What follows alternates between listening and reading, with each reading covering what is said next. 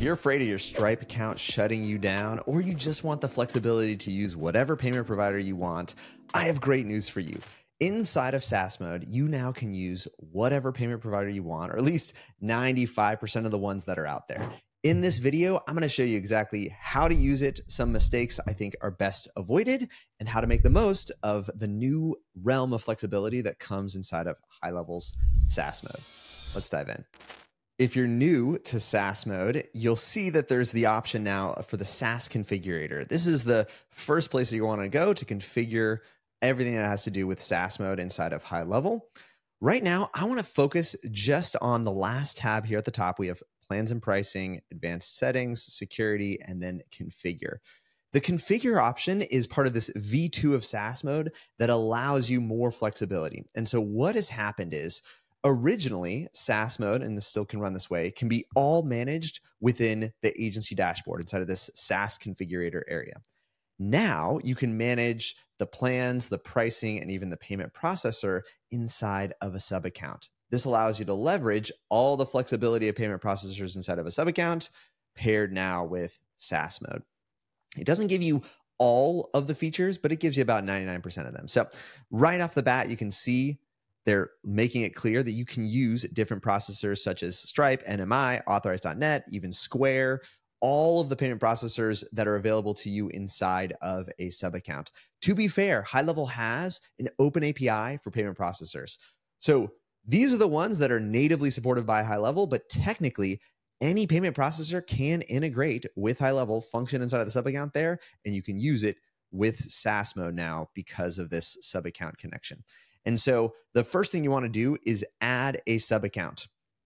You're going to pick a priority of one sub account. You see, I've already chosen one, which is our uh, HLPT demo account in there. But you can search whichever sub account you want to start processing payments in. So typically, this is the name of your SaaS. So if I was running this under Matt Funnels, I would choose the account for Matt Funnels. This is also the one where you want your payment processor connected. Typically, it's the one where you want to have your funnels live, where people are transacting, and probably want to manage like the CRM and all the typical other business functions of your software there. So you would add the account in. And what this does is it allows products and subscriptions to be created and managed inside of the payments module. Previously, how it worked was SaaS the the SaaS configurator would create products inside of Stripe, then you would connect the same Stripe account inside of that sub account and then you would import products from Stripe into the sub account. Now you don't need to do that. Now the products are created natively inside of the sub account and then they can work with whichever payment processor you want to use. And so I'm going to go ahead and switch over. It actually has a quick button there to switch to that sub account. So after you've added the sub account, you can actually just switch into the sub account and you have a couple of different options there inside of the payments area. So on the left, we have the payments and we're going to go specifically over to products. And this is where you can now create SaaS plan products. You see, they're appropriately tagged as SaaS plan, which I super appreciate. It used to be called, I think, agency plan or something like that.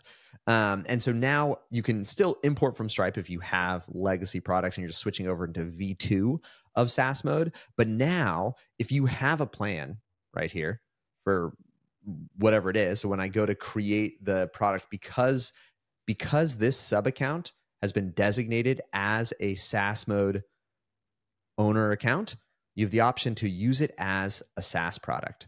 That means it's connected to the automated function of creating a sub account, uh, assigning access, you know, configuring for uh, payments or you know like the usage fees, all the sort of things, controlling whether they get a password or not, um, and so now you can you have both of these options: the online store, which we're not covering now. You can see another video about that, or the SaaS product. This is the one we would turn on, and um, and you can build your you know build your product out. Most of the details here are actually not super relevant to the SaaS mode configurator because some of them, like the media, this applies to the online store. The description, this is helpful uh, more so for internal management, but it does also show inside of well your payment processor and you can designate tax things, um, all sorts of settings in there. But at the bottom, we have this extra option because we've turned on SaaS to now do some of the things that you previously might have done inside of the SaaS configurator. And so these five tabs for the category, the limits, features, any credits, and then rebilling pieces you can put into here. One thing to know about categories um, is the main function is to create sort of logic for upgrading and downgrading as well as currency. If for some reason you're uh, wanting to use a different, well, not some reason, you're in a different country, you have a different currency, or you're trying to run multiple currencies, just know the SaaS plans currency is actually controlled by the category. You can't have conflicting currencies inside of the same category. Um, you can see I already have two plans here, Matt AI Pro and Core. Um, but if you wanted, you could always create a new category. Well, I guess for us, we've exhausted. The limit is 20. Um, but typically, you don't need a ton of categories. And the logic behind the categories there is um, it allows or can allow folks to upgrade and downgrade on their own. That does create a functional constraint, meaning I cannot have a lower priced plan that has more features. So, features and price are only constrained within a category, if that makes sense. So, I can't have a $97 plan that has 100% of features and then a $297 plan that has half the features in the same category. If you create different categories, you can do whatever you like. You can have a lot of variation in terms of pricing there. Um, and uh, but for us, we're creating a new product here, so I'm going to put it into this category, and so you can see this might be a top tier plan for 497. I can't go more expensive than my all inclusive um, most expensive plan. Well, you can't create conflict there, so you can't. You can always go higher, um, but you can reorder them, and this is where it's going to show up for folks when they're managing their billing area. So we'll put it in. Well, I'll put it in the Epic category. Um, usage limits. You can set a user limit on here to a certain number of users.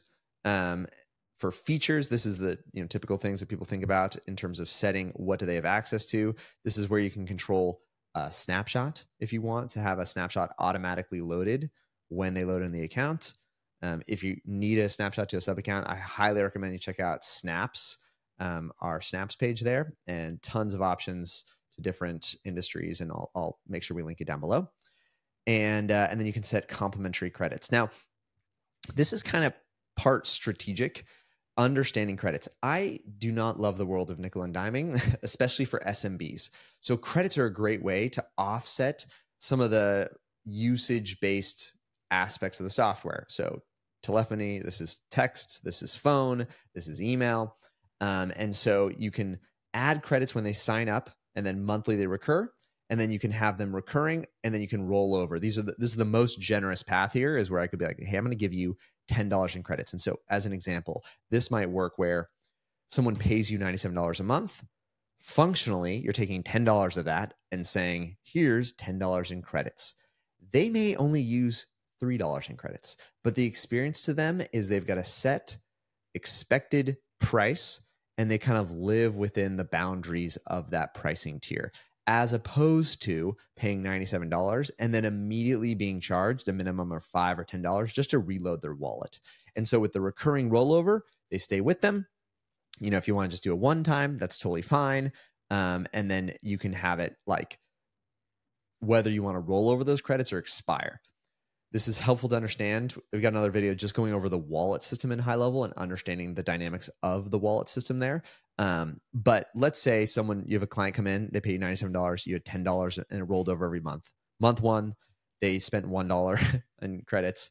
Month two, they spent $1. Month three, they spent $1 to total. They spent $3 and they had $30 worth of credits. And then they cancel. They're like, what happens to the $27, right? That I had in their credit account? They it gets returned to your agency wallet um, the cool thing is that means it could be used for different clients at different places there. If you want, you can always cash out your wallet. So if you've accrued funds from clients that are underutilizing credits that you've given them, high level can actually return that back to you. And so it's it's not as bad as Chuck E. Cheese. It's not like when you spend the money on the tokens, they're gone for good. it's just sort of like a placeholder to facilitate the whole rebilling infrastructure there. And this is this is a way where you're kind of giving them credits that they didn't know they needed but you know they needed. And I really actually do recommend the strategy because, especially for small, medium sized businesses, they're not used to being charged even $2 for uh, a minor function like a phone line. and this kind of like eases that transition. The last piece here is rebilling. It, it plays and pairs well with the credit system there, and um, so you have, I believe, seven or nine, probably ever growing uh, amount of things that you can rebill for. And automatically you're kind of rebilling because there's a minimum markup of 5% that just covers the credit card processing fees. So for example, um, and I highly recommend you check out that video on the wallet system, but if they pay, you know, for um, email and they use, you know, $1 worth of email, they're actually going to be charged $1.05 you're going to be charged one dollar. Why does high level do that? Because when you receive their one dollar and five cents you're charged you know on average let's say 3% if they charged you one to one you'd actually be losing money in the resale process there. Um, but you can you can scale this up. So you can mark it up up to 10 I believe, for any of these categories. And so that means $1 of cost to you, you could resell for $10 of cost. I don't typically do this um, because I don't deal in, you know, there's a level of savviness for your customers where, um, and, and sort of what's accepted there. And so it can kind of get out of hand, but this is another path for revenue generation or profit generation. Um, and it's called blade revenue. This is actually largely how high level makes its money and uh, you can kind of participate in the same process there. And so the last piece here is going to be um, the prices. You can set monthly, yearly, and then you can pre-designate a compare at price and a trial period if you want to do a 14 day 14 day trial, 30 day trial. Um, this is purely strategic. I do not recommend trials. They, uh, I do not recommend free trials. There are much better ways to um, get someone started that can be low barrier, but free trials are often exploited by scammers and uh, they just generally get a low commitment, low adoption. Um, but so this is how you create the product. So we're going to go ahead and I think I do need to set a price in there. So we're going to make this one uh, 97 and uh, 997. We don't have to set those other things. I believe it'll let me just save and add the product in there. So that was our core product. And um, to the actual purpose of uh, initially of, of this this piece here is in integrations, you can set up different payment integrations. So now you're not limited to only Stripe. You can connect with authorize.net, NMI, which even a lot of like fringe payment processors are actually running on authorize.net and NMI. For instance, if I use Chase as my processor, they're actually using authorize.net.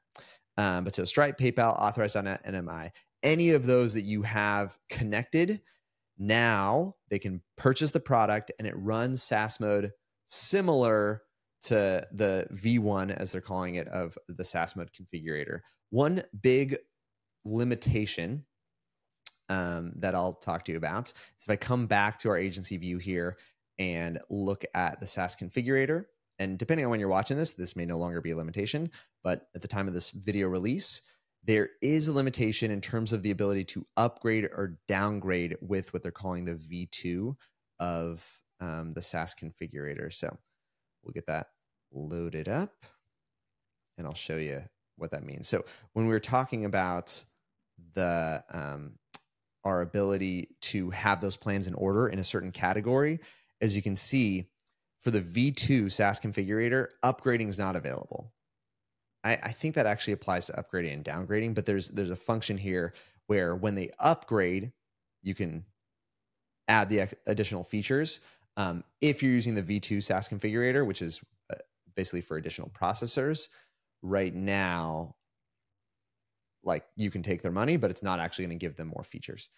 So the way to combat that is if you make your divide of plans, uh, less to do about features and more to do about a snapshot or something else like that, or additional access separate from the software. Um, but that's that's the, the one limitation I want to keep in mind. And so I'll leave you with this thought and advice as you're going out there and launching. If you are new, my recommendation is start with one price and one plan. Most of the big folks that you've seen and observed that have multiple plans, multiple pricing, do not start that way. High level started simply one price, one plan. We started simply one price, one plan. And for initial traction, what's working against you is confusion. So as you're doing all of this, you know, don't don't major in the minors. Pick one price, one plan, get a customer, and um, and start working in that way. And if you need some accountability, we've got an amazing community, um, and I'll link down below to that. Um, and I'll see you on the next video.